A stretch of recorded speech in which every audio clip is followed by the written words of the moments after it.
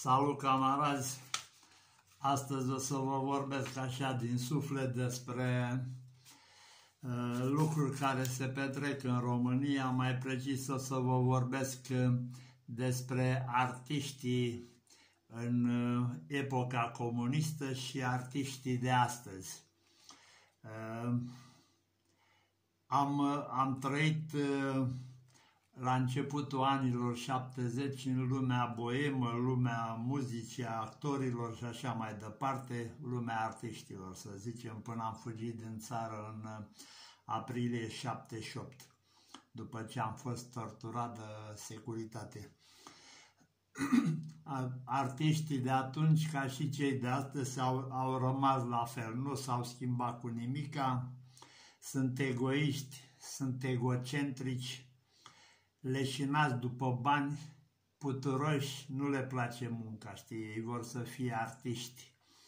Uh, fără spirit civic, nu participă, nu participă cu nimic la grijile și la problemele cetății, trăiesc în castelul lor de fildeș izolați. Pe vremuri, actorii mergeau în căruțe trase de cai până cu nămolul până la glezne, să joace prin sate și prin comune pierdute, prin câmpii sau prin munți, știți?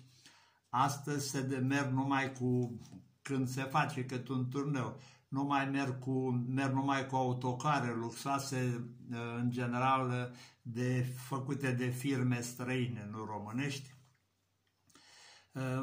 Mi-aduc aminte că am fost modelul Dinu Pacea, care taică sub Pacea, a fost uh, președinte, președintele Uniunii Artiștilor Plastici din România și dau exact în buricul târgului, vis-a-vis -vis de televiziunea română, știți, avea o vilă acolo. Uh, foarte puțini oameni aveau vile în România pe vremea aia, știi? Uh, celebra Dina Cocea, aveau o vilă pe Dumbrava Roșie, că am fost de mai multe ori la ea acasă când organizam concerte cu ATM-ul.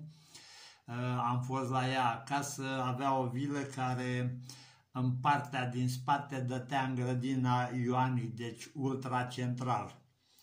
Uh, celebru Rebenciuc, actorul de la Teatru Bulandra actual, are un apartament chiar la 10 metri de intrarea în Cismigiu, înțelegeți? Ă, după cum știți, ele ginerele unui torționar care a omorât țăranii români că nu vreau să-și dea pământul la colectiv și să devine sclavul, sclavii comuniștilor și ai Partidului Comunist, știi? Și nevasta lui e fată de torționar, înțelegeți? Ă, cei celebri fâni, știți? La fel, ăștia numai gagici, bani, concerte, turnee, saci de bani, bineînțeles, mai ales în ultimii ani. Uh, nu interesa pe ei soarta omului de rând, nu interesa că românii, tine, tinerii români care vreau să aleargă libertatea și vreau, încercau să, fuge de, să fugă despre uh, pe frontiera terestră română, sârbească, iugoslavă, pe vremuri erau împușcați ca niște câini, sau alții să necau în, în Dunăre când încercau să treacă fraudulos în Iugoslavia, în Serbia de azi, pe ei nu interesau, ei erau artiști, pe ei interesa gagicile, bani mulți, gloria, nu? Așa, corect. Uh, nici pe ei nu interesa nici internările cu forța pe la psihiatrie, unde a fost internat Vasile Paraschiv de la Ploiești, care vrea să facă un sindicat liber al muncitorilor din România. Ă, treburile astea nu interesau pe artiști, că ei erau rupți de realitatea cetății, știți? Ă, celebru Florian Pitiș, care acum câteva zile am aflat că avea și filetul pe stânga, adică avea garda inversă. Eu nu mi-am dat seama, dar era un senior al scenei românești, plin de el, ă, avea și șorțuleț, că făcea parte din loje.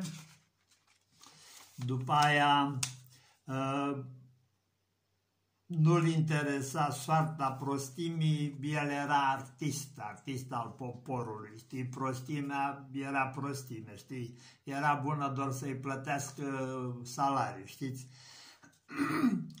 Pictorii români, mulți fără talent, uh, aveau salariu asigurat, că și dacă pictau bine și că dacă pictau tâmpenii sau prostii, uh, Ministerul Culturii le cumpăra toată opera și o depozita într-o magazie acolo, pe undeva, pe la un muzeu, dar banii îi dăteau ca să stea și liniștii, că uh, Partidul Comunist și Securitatea uh, n-avea niciun interes ca intelectualii, scriitorii, pictorii, sculptorii, muzicienii să, să deschidă gura, să critique, să facă tămbălău. Așa că îi mituau, că, îi mituiau că românii puneau botul, artiștii români puneau botul și la o vilișoară în buricul târgului, și la o mașină Dacia luată înainte fără să stea la coadă, că se ședea câte 4-5 ani la coadă ca să vină o mașină Dacia,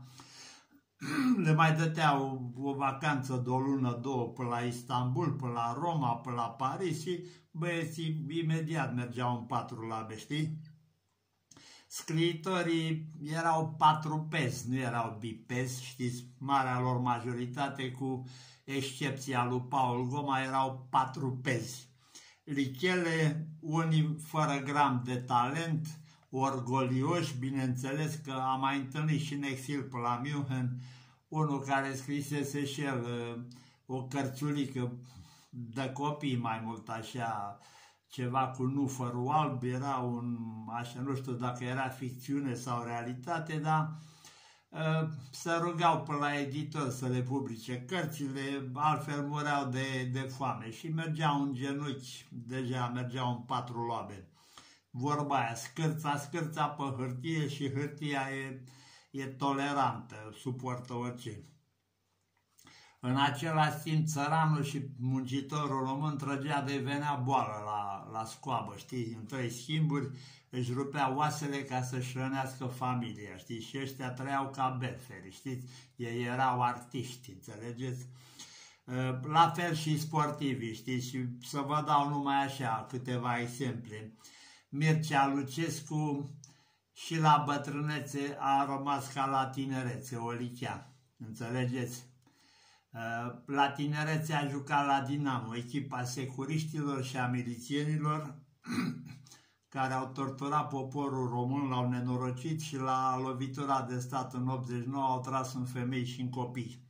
Așa. Dar pe el nu-l deranjează. Era prieten cu prințișorul, cu Nicu Ceaușescu, probabil și prieten de beții. Uh, a făcut uh, afaceri cu fostul general în rezervă, Angelache, care a fost președinte la Dinamo, unul din cei care au, uh, au manipulat și au controlat fondurile de la Crescent și Dunărea, el cu Voiculescu de la Haznaua 3. Vă dați seama câte sute de milioane a furat ăla, cu cine i-a împărțit nu o să știm niciodată, știi? Dar pe Mircea Lucescu nu-l deranjează, nici pe Fisu, înțelegeți? Așa, și acum fac afaceri cu ăsta, cu licheaua asta securistă comunistă. Deci, eu zic că indivizii ăștia sunt nu numai jalnici, sunt penibili, uh, n-au nimic românesc în ei, mamonul, banul îi duce de nas cum, de fapt dracu îi duce de nas, uh, cum au fost, așa au rămas, cum au fost la tinerețe, așa au rămas și la bătrânețe. Unii au fost lichele la tinerețe și la bătrânețe sunt canalii, știți?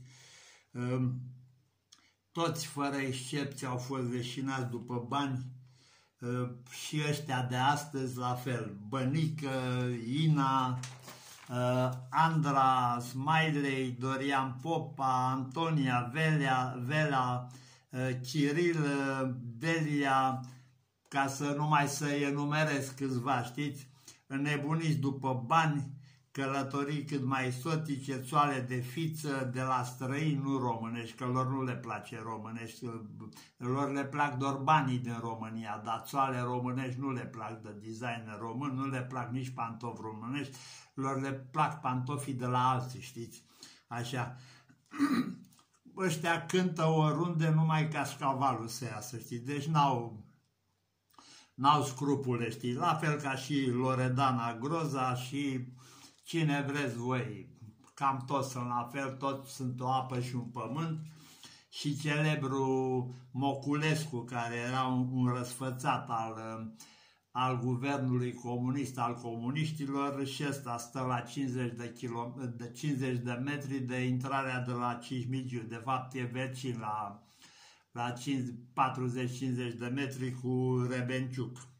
Așa, un lingău notoric jalnic și ăsta ne mai vorbim de Petre Magdin, producător pe la TVR și toți, toți felul de, cum v-am zis, patru pezi, oameni fără caracter, fără, fără coloană vertebrală, dar ăștia trăiesc întotdeauna bine pentru că ei se pun întotdeauna de partea învingătorilor, știți, ei nu vor să fie de partea învinșilor niciodată. Deci sunt oameni fără caracter, fără principii, rupți de realitate, prostind la greu copiii, făcându-i consumatori de chis și de vulgarități, cum a fost și la festivalul ăsta un told, care e un festival făcut de băiatul unui securist, aprobat de alt securist, Emil Bob, Bob, Bob, care se știe că a fost securist, deci pe filiera securistă se urmărește mai departe distrugerea țării și a poporului. După aia vi mai pomenesc așa întreacă pe Seli, pe Antonio Pican, Andra Gogan. Pentru mine sunt dereglați, obsedați de bani și țoale, de mașini, mașini și țoale de afară, nu românești. Lor nu le place. Tot ce e românesc le pute, știți? Așa. De călătorii care pentru mine distrug și viitorul țării și viitorul copiilor noștri și pe copiii noștri.